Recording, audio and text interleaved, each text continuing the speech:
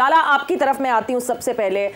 Pakistan versus England और अब ये बस ये वो मैच है जिसमें ऑब्वियसली इंग्लैंड ने बैटिंग चूज़ कर ली है तो बहुत ही मुश्किल और बढ़ गई हैं। This equation should be null and void almost null and void but लाला, क्या करना चाहिए आज टीम पाकिस्तान को? कैसा शो पुटअप करना चाहिए?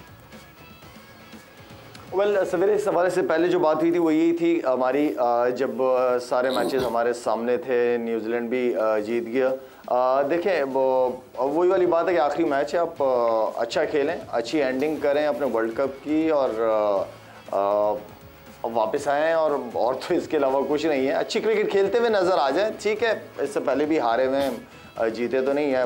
मेरे ख्याल में लास्ट 2011 में सेमीफाइनल में पहुँचे थे 99 के बाद। तो आई I मीन mean के अच्छी तगड़ी क्रिकेट खेल के आए और इसके अलावा मेरे पास कोई अल्फाज नहीं कोई अल्फाज नहीं है फ़िलहाल। बिल्कुल। मुशी भाई आ, हमने पाकिस्तान और इंग्लैंड ये वो दो टीम्स थी जिन्होंने हर हर क्रिकेटिंग एक्सपर्ट है एक्स क्रिकेटर है मौजूदा क्रिकेटर्स हैं। इन दोनों टीमों को सेमीफाइनल में सबने रखा था। इन दोनों टीम्स ने कहाँ पर लैक किया? देखें क्रिकेट जो है ना बीच में जो आप छोटी टीमें होती हैं ना न्यूजीलैंड की सबसे बड़ी खूबी पता क्या है? वो छोटी टीमों से कभी नहीं हारता। हम्म। ये सबसे बड़ी खूबी है उनकी। और जो हमारी टीम है पाकिस्तान को थोड़ा सा डिसएडवांटेज गया है ये अफ़गानिस्तान हो गया या जिस तरह हम मैच जीते हैं नदरलैंड से भी वो हम जिस रन रेट से जीते हैं ये हम अपना थोड़ा सा अंडर प्रेशर खेलते हैं छोटी टीमों के खिलाफ। तो ये एक बड़ा फैक्टर है और दूसरा बीच में हमारे जो क्रिकेटिंग पॉइंट ऑफ़ व्यू से देखा जाए मिडिल में विकटें नहीं मिली हमें। क्रूशल टाइम पे सिचुएशन के मुताबिक हमने विकटें नहीं ली और थोड़े से you know if and buts जो आपको क्रूशल टाइम्स होते हैं ना क्रिकेट के वो हमने जीते नहीं हैं मैचों हम्म। में। वो क्रूशल टाइमों पे हमने मैच हारे हैं। वो छोटे छोटे टाइम होते हैं पाँच ओवर का स्पेल बीच में चार ओवर का बैटिंग में स्पेल किसी ने सौ करते हुए थोड़ा टाइम ज़्यादा ले लिया ये छोटी छोटी चीज़ें हैं। ये जब चीज़ें आप निकल जाती हैं और आप टीम के लिए खेलते हैं तो आई थिंक ये सारी चीज़ें जब आप आराम से बैठ के इसको मैथमेटिकली सोचेंगे ना तो आपको सारी चीज़ें नज़र आ जाएँगी फिर। बिल्कुल छोटी छोटी छोटी इम्प्रूवमेंट्स मेरे ख्याल से जो एक सबसे बड़ी लैकिंग जो शायद टीम पाकिस्तान ने की that was not playing complete 50 overs हमने कोई तकरीबन इन आठ मैचेस में कोई 16 मैचेस का खमिया 16 ओवर्स का खमियाजा है हमारा। कि हमने 16 ओवर्स नहीं खेले।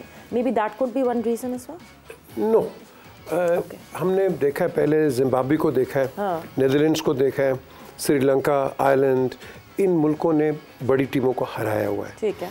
अब वो ट्रेंड ख़त्म हो गया अब अगर हम बात करते हैं अफ़गानिस्तान की हम्म। अफ़गानिस्तान को अब मैं मिनोज नहीं कहूँगा। अब इनको कहूँगा मेन कंटेंडर्स हैं ये। कल के मैच में आप देख लो।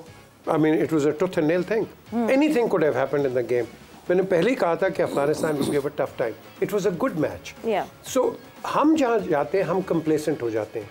और जब एक एक्सपीरियंस प्लेयर उसको आदत पड़ जाती है अच्छी बॉलिंग खेलने की और अच्छे बैट्समैन को बॉल करने की तो जब आप ये ढीली टीम में आते हैं आपको समझ नहीं आती है अपने करना क्या है।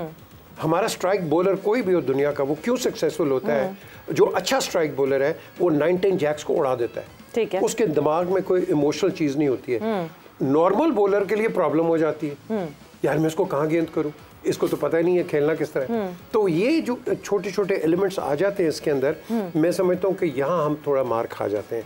हमने अपने आप को क्रिकेट जो मर्ज़ी ले क्लब खेलो फ़र्स्ट क्लास डोमेस्टिक जो मर्ज़ी फोकस रहो। हम्म। हम फोकस नहीं फोकस नहीं थे। यूसुफ हम फोकस नहीं थे। आप बहुत नाराज़ लग रहे हैं आज पता नहीं क्यों गुस्से में लग रहे हैं। हाँ ये फोकस नहीं। मेरे ख्याल ये बात कर रहे थे। फोकस्ड हैं। ओवर फोकस शायद वो देख रहे हैं मैच देख रहे हैं। सो यस फोकस की बात की है। क्यों क्यों ऐसा पीजे मीर साहब को लग रहा है कि हम फोकस नहीं थे और हमारा फोकस नहीं था? This was the World Cup जो चार साल बाद आता है। फिर भी फोकस नहीं थे? नहीं फोकस तो होंगे ऐसी बात हाँ, नहीं कि फोकस नहीं है। हाँ, वर्ल्ड कप खेलने गए हैं और पाकिस्तान टीम पहली चार टीमों में काफ़ी मैंने भी कहा अफरीदी ने भी कहा और लोगों ने भी पाकिस्तान हम्म। टीम को पहली चार टीमों में रखा था yes. तो कुछ देख के रखा था हम्म। लेकिन एक चीज़ जो नज़र आ रही थी मुसलसल पीछे काफ़ी अरसे से एशिया कप में भी नज़र आई हम्म। कि जो मॉडर्न डे क्रिकेट है वो हम नहीं खेल पा रहे थे और हमने काफ़ी बात भी की है यहाँ और मेरे ख्याल मैसेजेस जाते होंगे लड़के सुनते भी हैं ऐसी बात है क्योंकि हम लोग भी सुनते थे जब हम लोग खेलते थे तो आ, आ, नहीं, नहीं बाबर ने कहा मैसेज करके बताया उनको। आपके पास नंबर नहीं है बाबर का? नहीं मैं वैसे एक जनरल बात कर रहा हूँ कि जब हम लोग खेलते थे हम्म। तो जो हमारे सीनियर प्लेयर थे वो भी बैठ के टीवी में बात करते थे कि ये ये करना चाहिए था या ये नहीं किया वो नहीं किया।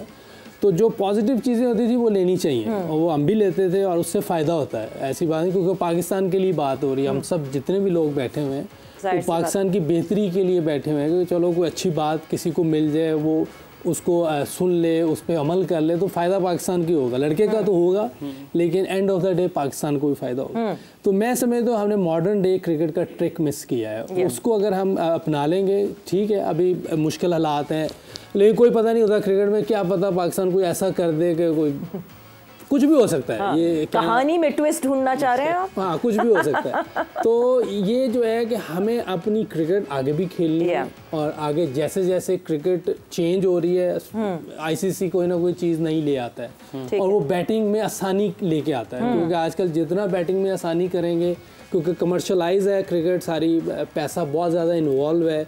तो शॉर्ट मैच में उन्हें नुकसान होगा। अगर फिफ्टी ओवर का मैच तीस ओवर में ख़त्म हो जाए तो नुकसान होगा। हाँ। तो इसलिए वो बैटर्स के लिए आसानियाँ पैदा कर रहे हैं। इजी इजी माहौल दे रहे हैं।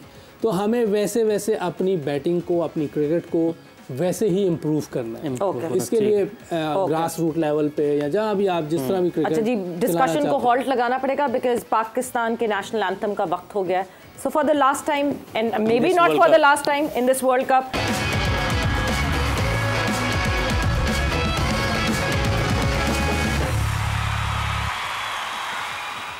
and welcome back to programme ज़ोर का ज़ोर डिस्कशन को वहीं से आगे बढ़ाएँगे। बात हो रही है पाकिस्तान के हवाले से भी। छः रन बना लिए हैं इंग्लैंड ने और मार्जिन जो है जिस तरीके से हम सब लोग कह रहे थे कि कोई उम्मीद कोई उम्मीद हमें नहीं तोड़नी। बट अगर हम बात करें मैथमेटिकली भी चीज़ें अब हमारे हाथ में नहीं है। अब सिनेरियोज जो है वो आईसीसी ने वैसे दिए हैं हम सिनेरियोज दिखाएँगे बट बिफोर दैट आपको एच सिटी का हमने बताया कि एच सिटी का सवाल हम लोग आपके सामने रोज़ाना रख रहे हैं जिसके आपके जवाब आ रहे हैं उसको हम डाटाबेस में सेव कर रहे हैं। तो आज एच सिटी का जो है हाँ। आज का सवाल भी आप लोगों के सामने रखेंगे प्रोग्राम में। आगे जाकर मीनवेल हमारी जो डिस्कशन है वहीं से आगे बढ़ाते हैं हमारी हाँ, जो डिस्कशन ठीक है जी। सवाल को यहीं रोकेंगे सस्पेंस को यहीं रोकेंगे and the scenarios that we are talking about England versus Pakistan right now it is in action Eden Gardens Kolkata में हो रहा है ये मुकाबला। And what is the for Pakistan honestly speaking अगर ये सिनेरियोज आईसीसी ने रिलीज़ किए तो आईसीसी को कहना चाहिए थैंक यू वेरी मच आप न्यूजीलैंड के सामने क्वालिफाइड लगा दें.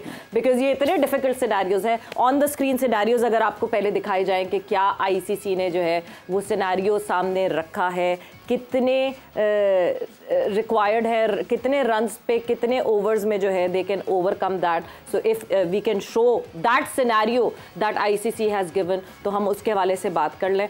और उस सिनेरियो के साथ साथ ये ज़रूर नोटिस करना पड़ेगा कि जब हम 50 ओवर्स खेलने की बात करते हैं तो may be this scenario would have been easy कि थोड़े सी जो सिचुएशन है वो आसान हो जाती, मगर वो सिचुएशन क्या आसान, अब तो वो कहते हैं ना, चिड़िया चुग गई, खेत तो क्या करें?